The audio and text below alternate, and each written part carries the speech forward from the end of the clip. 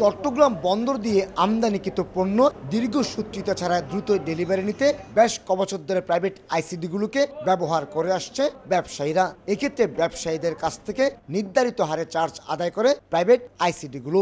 আগে থেকে বাড়তি টাকা আদায়ের অভিযোগ থাকল এবার তার সাথে যুক্ত হয়েছে তেইশ শতাংশ বাড়তি চার্জ। এক্ষেত্রে জ্বালানি তেলের মূল্য বৃদ্ধি সমন্বয় করতেই চার্জ বাড়ানো হয়েছে বলে দাবি প্রাইভেট আইসিডি মালিকদের সংগঠন বিগডার। আমাদের কন্টেনার হ্যান্ডলিং ইকুইপমেন্ট এবং কন্টেনার ক্যারিং যে ভেহিকেলগুলো আছে, সবগুলোই কিন্তু ডিজেল কনজিউম করে। সুতরাং ডিজেলের মূল্যবৃদ্ধির সাথে সাথে এই মূল্যবৃদ্ধি না করলে আমরা আমাদের কস্ট রিকভারি করতে পারতাম না। আগে বিশ ফুট সাইজের প্রতিটি কন্টেনারে রপ্তানি স্টাফিং প্যাকেজ চার হাজার একশো চল্লিশ টাকা হলো, এখন তা পাঁচ হাজার বিরানব্বই টাকা। একইভাবে চল্লিশ ফুট সাইজের কন্টেনারের ক্ষেত্রে পাঁচ হাজার পাঁচশো বিশ টাকার পরিবর্তে ছয় হাজার সাতশো নব্বই টাকা পরিশোধ করতে হবে।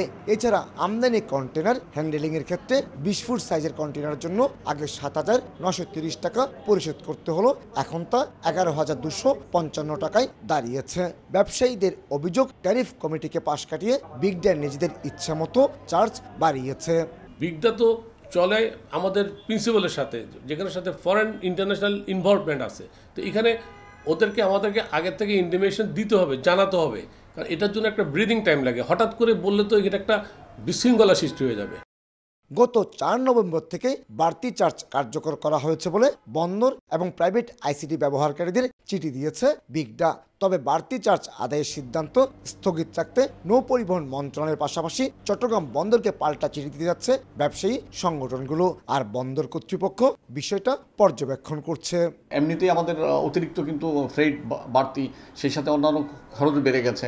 সাথে যদি আবার আপনার এই ডিপোর রেটও বেড়ে যায় তাতে কিন্তু আমরা সবাই কিন্তু অনেক ক্ষতিগ্রস্ত হব। দুই পক্ষের অসন্তোষের কারণে যদি চিটং পোর্টের প্রোডাক্টিভিটি হ্যাম্পার করার কোনো অবকাশ থাকে তাহলে সেটা আমরা অবশ্যই দুপক্ষকে নিয়ে আমরা সেটা সমাধানের চেষ্টা করব। প্রাইভেট আইসিডিগুলো বছরে প্রায় দশ লাখ কন্টেনার হ্যান্ডেলিং করছে।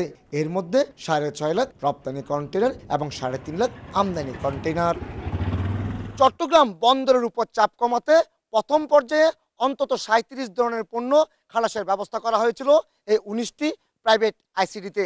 পরবর্তীতে পণ্য সংখ্যা বাড়িয়ে করা হয়েছে ষাট।